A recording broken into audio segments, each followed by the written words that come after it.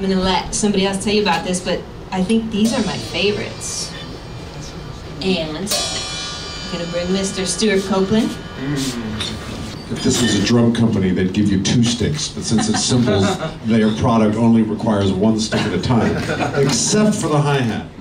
But the concept of this hi-hat is that it's very small and very tight, and so that if you want to increase your vocabulary on the hi-hat, so it doesn't just go, you know, the, the classic heavy hi-hat, you know. But that's not quite tight enough. Sometimes you need to get much tighter for the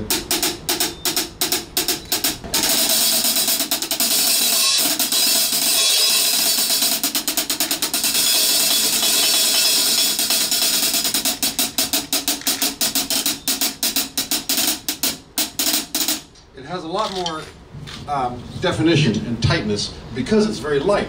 And most of my years in rock and roll, all the drummers want more metal, and they get bigger and heavier. That's got to be better because it's bigger and heavier and therefore louder, right? But anomalously with cymbals, the lighter they are, uh, the heavier, the, the lower in pitch they are, but the more controllable they are.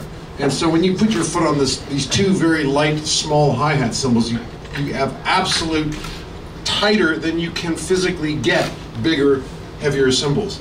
So that's pretty much the um, the technical concept of them. There also happen to be very good metal that they're made out of, and I've been with, sorry to pull rank here, but Paiste for I think 38 years, something like that.